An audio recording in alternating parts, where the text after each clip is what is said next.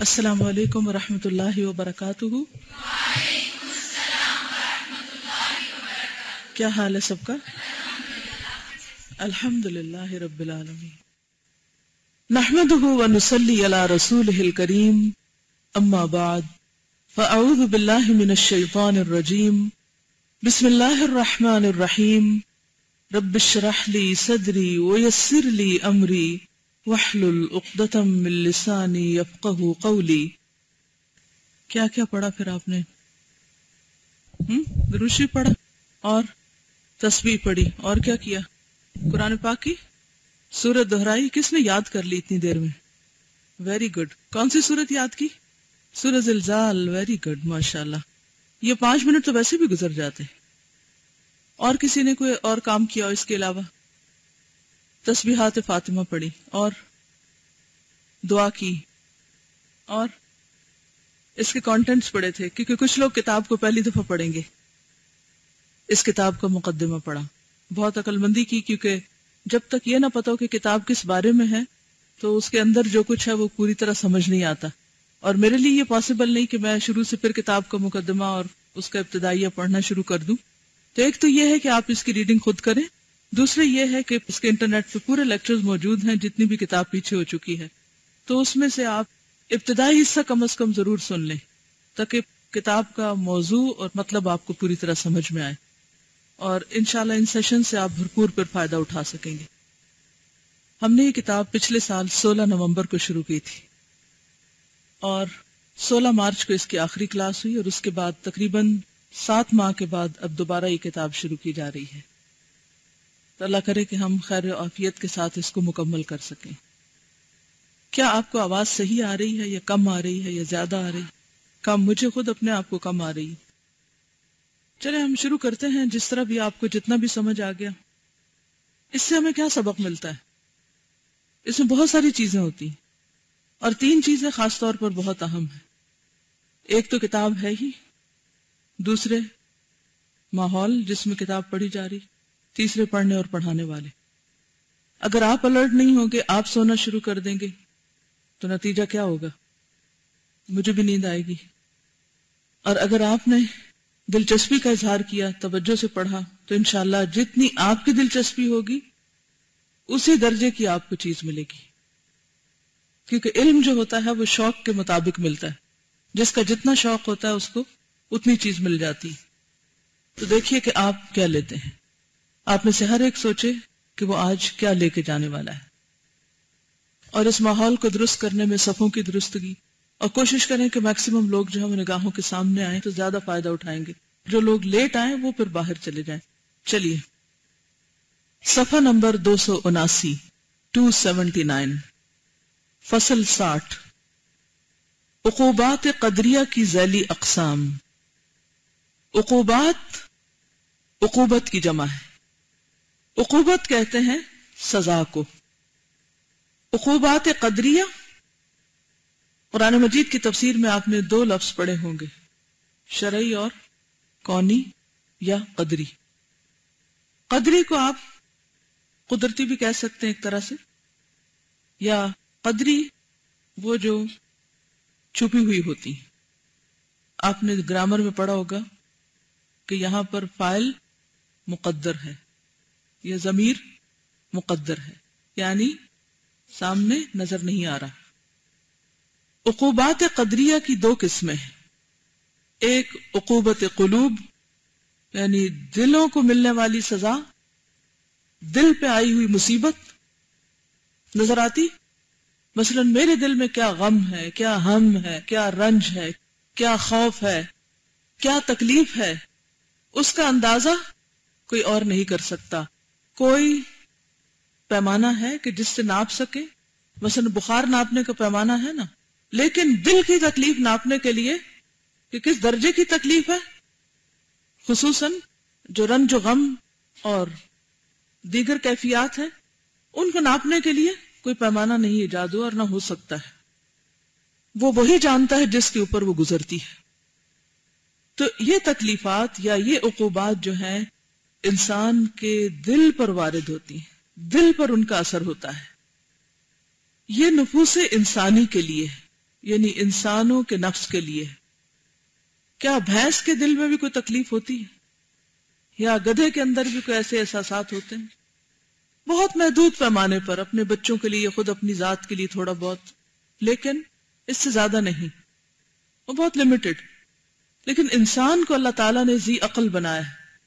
زی شعور بنایا ہے احساسات اور جذبات والا بنایا ہے اس بنا پر جس درجے کے اس کے احساسات ہوتے ہیں، اسی درجے کے اس کے اندر تکالیف ہوتی ہیں یا پھر خوشی اور مسرت کا احساس بھی ہوتا ہے۔ یہ نہیں کہ صرف عقوبات ہی ہوتی ہیں یا سزائیں ہی ہوتی ہیں یا دکھ درد ہی ہوتے ہیں، بلکہ انبساط، شرح صدر، خوشی، اطمینان، سکون اور سکینت بھی ہوتی ہے۔ تو کہتے ہیں کہ یہ نفوس انسانی کے لیے ہے، جو انسان کے قلب سے وابستہ ہے یعنی دل کے ساتھ متعلق ہے دوسری عقوبت ابدان و اموال ہے ابدان یعنی بدن کی جمع، جسم اور اموال یعنی مال۔ وہ مصیبتیں جو جسم اور مال پہ آتی ہیں۔ جسمانی جسمانی مثلا بیماریاں وغیرہ۔ اور مال پہ جیسے مال کا ضائع ہونا یا نقصان ہونا۔ جو عقوبت قلوب کے لیے ہے یعنی دل کی جو عقوبت ہے، اس کی دو قسمیں ہیں۔ اس کی دو قسمیں ایک مثبت غم و علم کی شکل میں ہے، اس کی ضرب قلب پہ پڑتی ہے۔ دوسری وہ جس سے اس کا وہ مادہ ہی منقطع ہو جاتا ہے، جس سے قلب کی حیات اور اصلاح وابستہ ہے۔ یعنی یا تو چوٹ لگے گی اور آپ رنج و غم میں مبتلا ہوں گے اور آپ کے احساسات تیز ہو جائیں گے اور آپ جاگ اٹھیں گے اور آپ ہوش میں آ جائیں گے اور کیا ہوگا اس سے؟ سبق سیکھیں گے کوئی۔ مثلا کسی کی کوئی بات آپ کو بہت بری لگ جاتی، آپ کی آنکھوں میں آنسو آ جاتے ہیں۔ آپ کے قلب پر کیا ہوا؟ ضرب لگی، یہ لکھا ہے نا؟ اور یہ ضرب جو ہے یا یہ چوٹ جو ہے، یہ جو کسی بندے سے آپ کو لگی، یہ یا تو مثبت ہوگی یا منفی ہوگی۔ مثبت کس شکل میں ہوگی؟ کہ جب آپ کو رنج پہنچا، آپ نے اپنے رب کو یاد کیا، آپ کو اپنی غلطی کا احساس ہوا، آپ نے توبہ استغفار شروع کر دی، آپ اللہ کی طرف راجے ہو گئے اور آپ کی اصلاح ہو گئی۔ آئی تو تھی مصیبت، لیکن مصیبت ذریعہ بنی کس کا؟ دنیا میں ہی توبہ کر لینے کا۔ مثلا کوئی آپ کا دل دکھاتا ہے اور آپ کو رونا آتا ہے، تو اس وقت اگر آپ کا دل جاگ اٹھے، تو آپ کیا سوچ سکتے ہیں؟ کہ میں نے بھی تو کسی کا دکھایا ہوگا۔ آپ کو فوراً کوئی بات یاد آ جاتی ہے، ایک دم فلیش ہو جاتا ہے، اوہ، فلاں جگہ بھی ایسی سچویشن ہوئی تھی۔ جو آج اس نے میرے ساتھ کیا ہے، وہ میں نے بھی کل کسی کے ساتھ کیا تھا۔ اور اسی لمحے آپ کیا کہتے ہیں؟ لا الہ الا انت سبحانکا انی کنت من الظالمین۔ پھر آپ بلیم گیم نہیں کرتے کہ دوسرے کے اندر ہی نقص نکالنے لگے اور اس کو بلیم کرنے لگے یا غیبت کرنے لگے یا پھر آپ ایسا رونا دھونا کرنے لگے جس کا کوئی نتیجہ نہ نکلے۔ تو یہ تکلیف کیا ہے بندے کے حق میں خیر اور بھلائی ہے؟ اس لیے اس کو انہوں نے کیا کہا؟ مثبت۔ مثبت غم و علم دوسری وہ جس سے اس کا وہ مادہ ہی منقطع ہو جاتا ہے۔ یعنی چوٹ لگتی ہے اور انسان تھوڑی دیر کے لیے اس کو تکلیف ہو جاتی ہے اور پھر کہتا ہے ہاں ایسا تو ہوتا ہی رہتا ہے اور پھر وہ بے حص ہو جاتا ہے۔ پھر ایک اور چوٹ لگتی ہے تو وہ پہلے سے جس کو کہتے ہیں نا، ڈھیٹ ہو جاتا ہے۔ پھر اور ڈھیٹ ہو جاتا ہے۔ لہذا کوئی چوٹیں اور رنج اور غم اور دکھ اس کو کچھ اثر نہیں کرتے اور وہ کسی چیز سے سبق نہیں لیتا۔ یہ کیا ہے؟ یہ عقوبت؟ یہ سزا کیسی ہے؟ منفی ہے۔ جس سے اس کا نقصان ہو جاتا ہے۔ تو کہتے ہیں کہ دوسری وہ جس سے اس کا وہ مادہ ہی منقطع ہو جاتا ہے، جس سے قلب کی حیات اور اصلاح وابستہ ہے۔ یعنی اصلاح جو ہے اور زندگی قلب کی ختم ہو جاتی ہے، دل بے حص اور مردہ ہو جاتا ہے۔ اتنی بات سمجھ آ گئی؟ تھوڑی سی ٹیکسٹ مشکل ہے، تھوڑے مفہوم ذرا سے سمجھنے مشکل ہے لیکن اتنے بھی نہیں کہ آپ نہ سمجھ سکے ان سب باتوں کو پڑھ کر ہم سب کو کیا کرنا ہے؟ اپنا جائزہ لینا ہے۔ کہ میں کسی دکھ، تکلیف، رنج، غم علم کے موقع پر کیسے ریاکٹ کرتی ہوں؟ میری کیفیت کیا ہوتی ہے؟ داؤد علیہ السلام بیٹھے ہوئے تھے، دو لوگ اوپر سے اتر آئے اور انہوں نے آ کے اپنا مقدمہ پیش کیا۔ بات کچھ تھی لیکن انہوں نے فوراً کچھ اور چیز سیکھی اس سے۔ واقعہ کچھ پیش آیا، ان کو پتا چل گیا، میرے رب نے مجھے آزمایا ہے۔ اور اس وقت کیا ہوا؟ خرا گر پڑے وہیں راکان رکو کرتے ہوئے یعنی جھک گئے اللہ کے آگے، وہ اناب اور پلٹ آئے۔ یہ مصیبت یا یہ تکلیف ان کے اللہ کے قرب میں اضافے کا ذریعہ بنی۔ اس کے برعکس، یہی چیز جب ایک عام انسان کو پیش آتی ہے، تو اس کا طرز عمل کیا ہوتا ہے؟ مثلا کسی اور کے پاس ایسے لوگ آتے تو وہ کیا کہتے؟ پولیس کو بلواتے اور اٹھا کے لے جاتے بات یہ کہ جو بھی کوئی واقع ہوتا ہے، مومن کی نگاہ جو ہوتی ہے، وہ عبرت کی نگاہ ہوتی ہے اور وہ ہر واقع سے سبق سیکھتا ہے۔ اس لیے اس کے لیے جہاں نعمتیں خوشحالی کا ذریعہ ہوتی ہیں، وہاں تکلیفیں بھی کس کا ذریعہ ہوتی ہیں؟ سبق حاصل کرنے کا ذریعہ۔ اور وہ بھی اس کے حق میں خیر و بھلائی بن جاتی ہیں۔ جیسے حدیث میں بھی آتا ہے نا کہ مومن کا ہر حال اس کے لیے کیا ہے؟ ہر حال میں اس کے لیے خیر ہی خیر ہے۔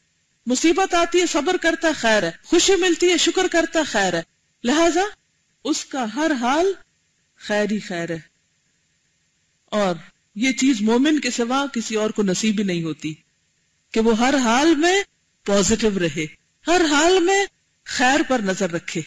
اگر ہم ہر حال میں ہر سچویشن سے خیر نہیں نکالتے اور اللہ کے مزید قریب نہیں ہوتے، تو گویا ہمارے ایمان میں کمی ہے۔ پھر ہمیں اپنے ایمان کی اصلاح کی فکر کرنے کی ضرورت ہے۔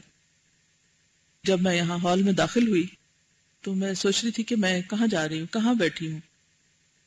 اور سوچ رہی تھی کہ میرے دائیں جانب یہاں اس سڑک سے تھوڑا سا آگے جائیں تو ایک اسپتال ہے۔ بائیں جانب قبرستان ہے، پیچھے پولیس اکیڈمی ہے اور آگے یونیورسٹیاں ہیں، دو فاسٹ اور اسلامک یونیورسٹی۔ کیا سبق ملتا ہے؟ ہم؟ یا علم کا راستہ اختیار کر لو، سیدھے چلو، یا پھر قلب بیمار ہو، ہسپتال چلو، یا پھر زندگی کا خاتمہ ہو جائے گا تو دوسری طرف چلو۔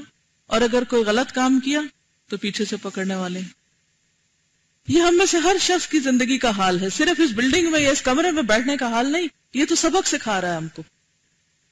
بہترین راستہ کون سا ہے؟ علم کا راستہ۔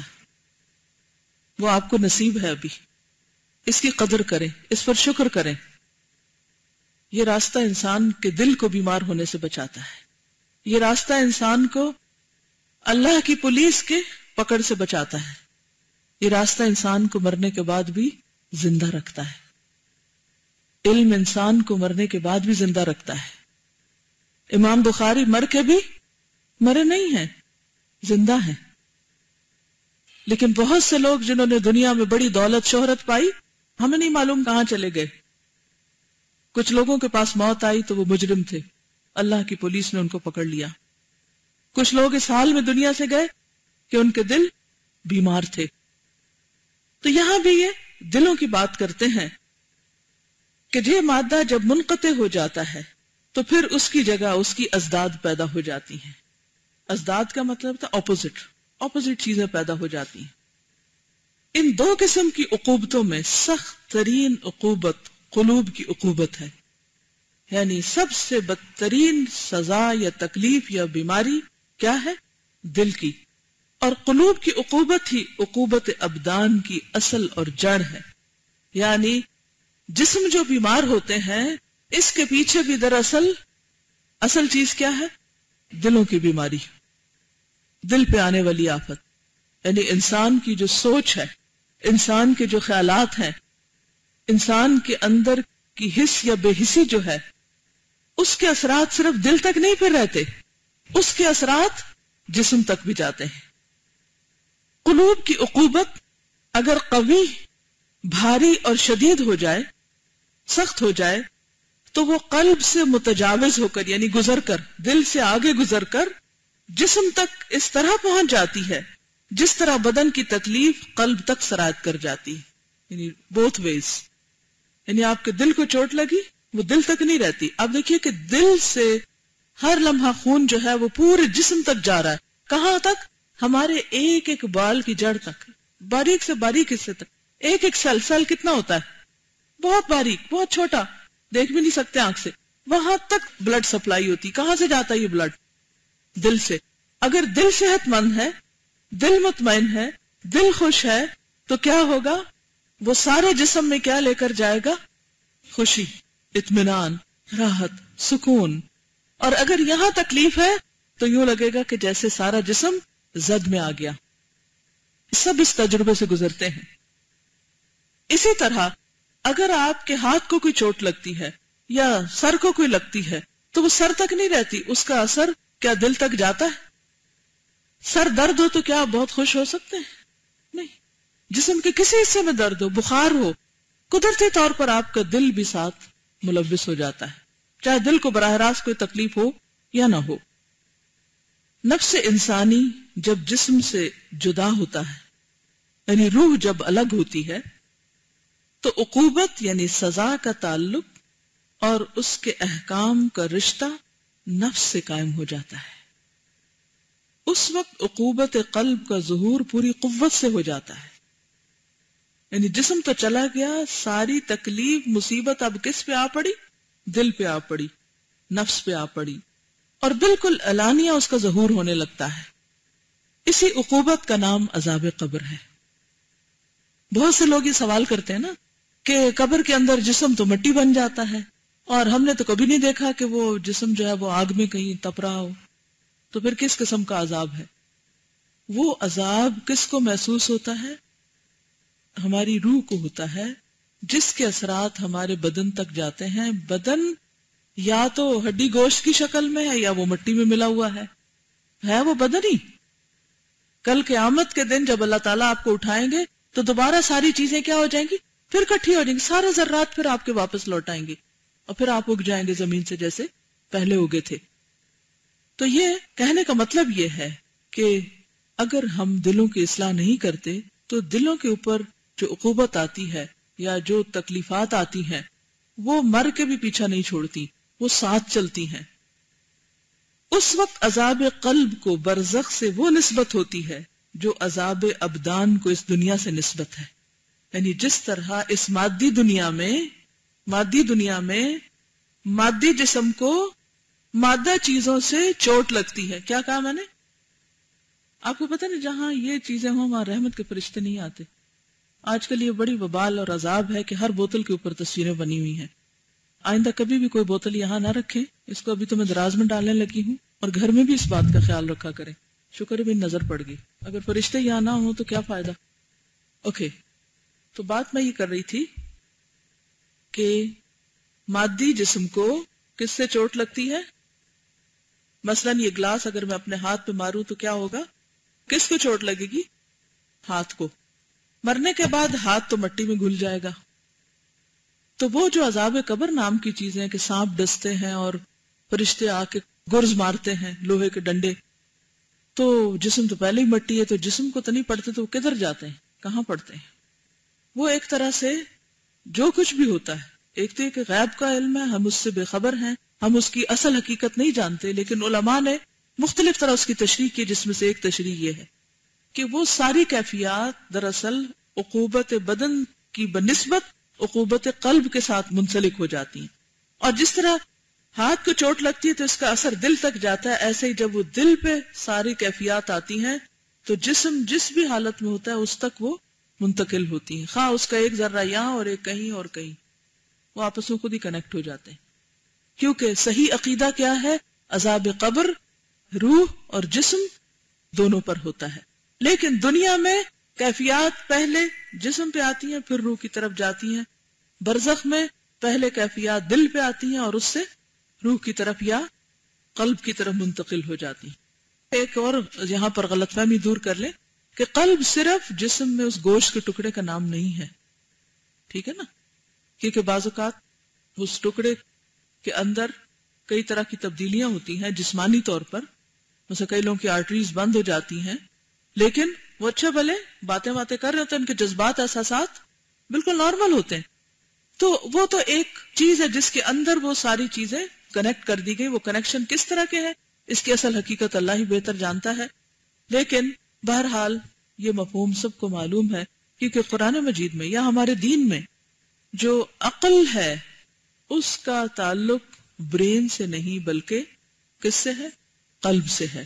لہم قلوب لا يفقهون بها ان کے دل ہیں، وہ ان سے سمجھتے نہیں۔ لا یاقلون کا لفظ جو آیا ہے، تو وہ بھی عقل جو ہے، اس کا تعلق صرف دماغ سے نہیں اس کا بھی کوئی نہ کوئی رول ہے، اس کی بھی کوئی نہ کوئی اپنا کام کرنے کا طریقہ یا کمیونیکیشن ہے۔ لیکن اصل چیز جو احساسات رکھتی ہے وہ کیا ہے؟ دل ہے۔ اصل احساسات اور جو نیتیں اور ارادے اور اچھائی برائی ہے، وہ کس سے تعلق رکھتی؟ دل سے۔ جیسے نبی صلی اللہ علیہ وسلم نے تقوی کی جب بات کی تو کیا فرمایا؟ اشارہ کر کے فرمایا اتقوا ہاں ہونا۔ سبحانك اللهم وبحمدك نشهد أن لا إله إلا أنت نستغفرك ونتوب إليك. السلام عليكم ورحمة الله وبركاته.